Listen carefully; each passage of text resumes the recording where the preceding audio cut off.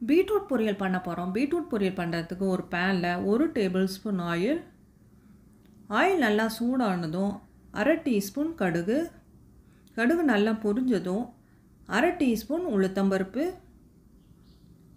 அரை டீஸ்பூன் கடலைப்பருப்பு. இதெல்லாம் ஆட் பண்ணி இது நல்லா ஒரு நிமிஷத்துக்கு நல்லா ஃப்ரை ஆகட்டும். ஒரு பெரிய வெங்காயத்தை சின்ன சின்னதாக கட் பண்ணி ஆட் பண்ணுறேன் நாலு வரமிளகாயை சின்ன சின்னதாக கட் பண்ணி ஆட் பண்ணிக்கோங்க. ஒரு கொத்து கருவேப்பிலை கால் டீஸ்பூன் மஞ்சள் தூள். இதெல்லாம் ஆட் பண்ணி ஒரு நிமிஷத்துக்கு இது நல்லா ஃப்ரை ஆகட்டும்.